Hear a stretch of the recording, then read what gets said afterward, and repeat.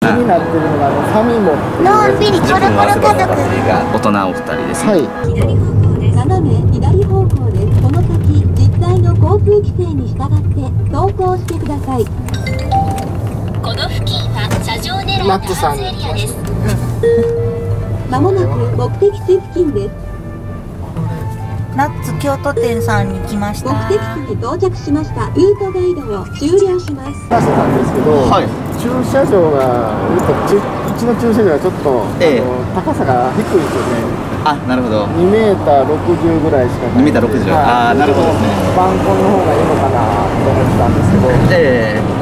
まあ、中にはカーポートをかさ上げされて、まあ、3メーターほどになさって、はいまあ、キャップを入れられるというお客さんもいらっしゃいます。そうなんですね、はい。うちあの家のあ中に入れる。そう中に入れるタイプなんですよ。はい。中心になってるのがあのファミモっていうやつ。ファミモ。あファミモ。はい、はい。あっちの方がちょっとあのここの間家内があの、大阪キャンピングカーショーにあええはい。それがちょっとあの気になったっていうのでちょっと見に行ってみようかっていう。あはい。ありがとうございますそれはあああいに今くファミも今愛知のお店に そうなんですね。来月今日はちょっとスーパーロングの車両しかないようなはいことなんで、ちょっと見せてもらったらはい、はい。すい。ませんおお願いします。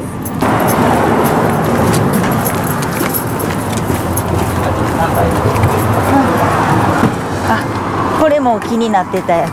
はい最初ファミモン見て、あはい。でリーク2見たらリーク2がめっちゃ良かったソーラーとかってつけた方がいいんですかね？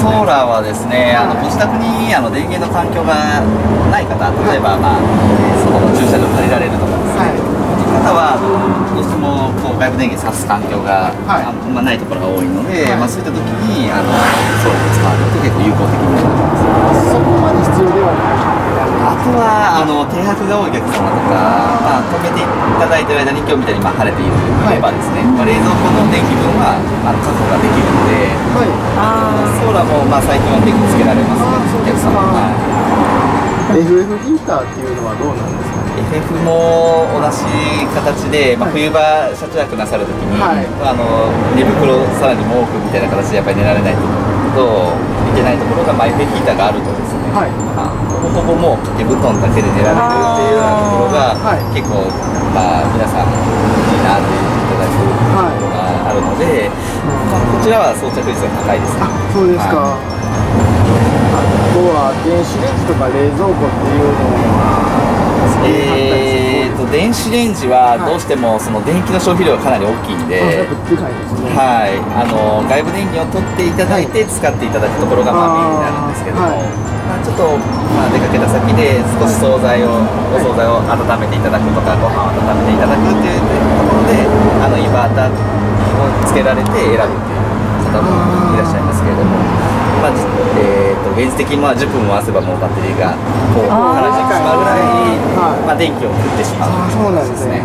冷蔵庫もそれぐらい？冷蔵庫はですね、比較的、まあ、12ボルトで駆動する冷蔵庫を今回、あのオプションでご用意させていただいてるんですけども、はい。まあ、それであれば結構長くは使えます。あですか。どうすはバッテリーをがもともと1個なんですけど、はい。それを2つに増やしたりとかっていう形で、はい。より長く使っていただけるようにっていうことができます、はいはいサイドオーニングっていうのは必要なんですか？えー、と例えばキャンプ場に行かれるキャンプの方が多いか、それとも車中泊とか、はい。そういうところが多いかっていうところはどうですか？ね、ー車中泊よりキャンプの方キャがンプが多いはい感じですね。はなんで、まあ、キャンプ場に入っていただいて、まあえーキャンプテントを立てなくても、はい。まあ、サイドリングさえあれば、もう、はい。ビュート出していただいて、はい。足を立てていただければ、もう、食事はできるって感お食事もできますし、はい。っていうような形で、はい。結構そのキャンプ行かれる方とかは、つけられるようただね車中泊とかでしたらサイドオーニングが出せるかどうかですけどそうですね。キャンプとかでしたら出せますもんね。そうですそうです、はい。あの車中泊とかですと、まあ、大抵皆さん、うん高速のサービスエリアですとか、はあとはまあそうですね、えー道の駅ですとか、はい。まあ、そういったところを活用されると思うんですけれども、はい。まあ、そういったところはやっぱり出せないので。ないですね。迷なので、まあ、ほぼほぼ、まあ、キャンプ場しかとか、はい。まあ、山の中とか、はい。とかしか出せないっていう、まあはい。使用環境が限られるっていうので、まあ今どこどこいなところではありますね。後付けとかっていうのもできるんできます。はい。そうなんだねできます。はい。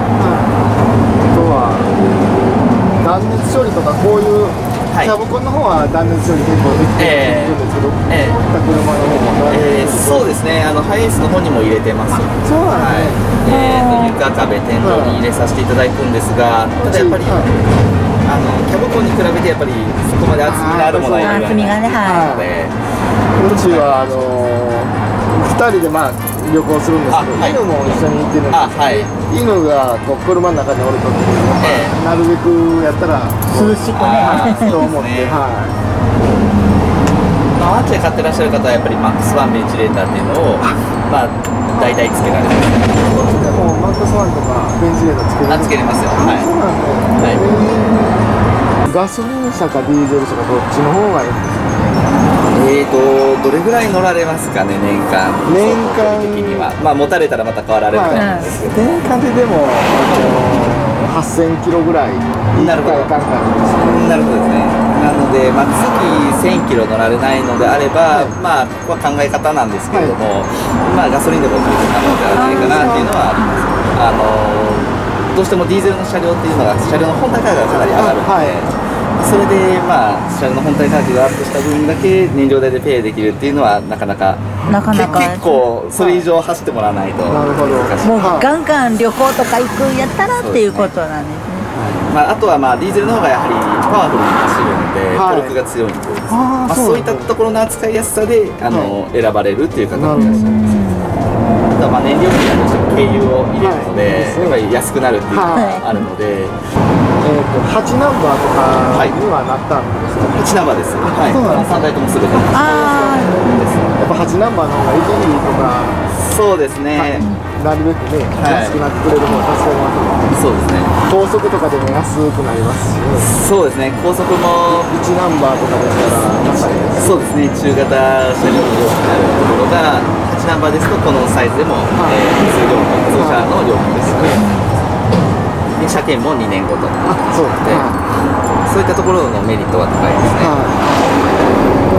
い、やっぱリーク見たらリークついてただあのうちの駐車場の関係上こう横が2015なんですよ、はい。で縦が頑張れば4880なんですけどこういう車が入るかなっていう感じで。そうですね、この車も 5m40 あるので、そらあーでもく完全に出ちゃいますはい草木が出ちゃうと思うんですよね。よかったら中乗ってみていただああいいですか。いいですか大丈夫です。じゃあ失礼します、はい、どうぞ。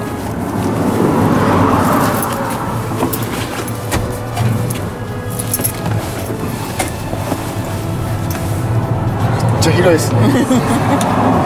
ああ電気。はい、電気スイッチを入れると、まあ、電化製品にあの電気が入る、まあ、要は家でいうブレーカーみたいなものですね。はああこれ一つでも全部。あとはまあ各水あの、えー装備品ごとにオンオフができますけれども、通電はする。通電はしないなので冷蔵庫とかを回していただくときはもうこれ入れないと回らない。あはい。入れっぱなしってこと。はい。まあ夏場はもう皆さんほとんど入れっぱなしの状態になるかと思うので。はい。嫁さんに行ってもらってて。そうなんですよ。でここ良かったって言ってたから、あはい。リークでかくていいよって言って。ええ。でまあファミマしか入らへんの違うかなとか言いながら。この収納がねいっぱいあったがになんかいいなと思って。そうですね。あのーこの、えーレジアスエーススーパーロングワイドボディになってから、この上部収納庫が付けれるように。なりまあー。やっぱ収納がいっぱいあると便利ですもんね。す。はい、やっぱり細かいものが増えてこられると思うのはい。で、例えば、まあしえー食器とかですね、ははい。あとお着替えとか、まあ、見えないところに入れていただいてっていうところですね。こちらがシンクになっている。いああ綺麗。うん。まあ、あの、なんて言うんでしょう、あの、FRP で制御したり。へでシャワーヘッドノズルになってますので、まあ、伸びます。あそうなんですね。外まで出せますし、あとここに給排水のタンクをつけさせていただいてます、えへえあ取り替えやすい。そうですね14リッターですね、はい。筒になっている。はい。合計7人乗りの車両になる。ああ7 7人乗りで。寝るときは何人で？就寝はですね、はい。今かけられてるところすべてフラットにさせていただいて、はい。えーこの下の段にお二人大人お二人ですね、はい。で後ろの段にお二人。はい。で合計4人。ああ収納全部収納になっています。ほんまですねはい。へえでこの下にリーク2の場合は、はい。あの電装装置あーはいがついてるサブバッテリーですとか、はい。走行充電器。あとオプションなんですけど外部充電器とか、まあ、こういうはい。インバーターとかそうですねこの中に入ってます。はい。ほんま収納多い収納がかなり多いんで。ここも結構広く使えますもんね。そうですね。あとは、えー例えばまあ常設ベッドっていう名目なんですけども、はい。このベッド板使わない時、はい。え4分割になってるので外せます。はい外していただいてこの中に全てしまってあそうするとダゲージルームが広くなるので、はい。例えばお荷物たくさん乗せられて行かれる時とかっていうのは、まあ外していただいてもっていう形いける感じ。キャンプに行く時とか荷物乗れ乗せれて便利ですね。はい。中古の情報もなんかちょっと知りたいな。あそうですね、よろしければお調べします。あはい大丈夫ですか、はい大丈夫です。はい。すい。ませんよろしくお願い。しわかりました。お待ちください。はい。じゃあちょっとあのファミモのカタログと、あのリーク2とのカタログちょっと先にご用意させていただきます。ので、あはい。お待ちください。ありがとうございます。ご視聴ありがとうございました。グッドボタン、チャンネル登録してもらえると元気が出ます。まったね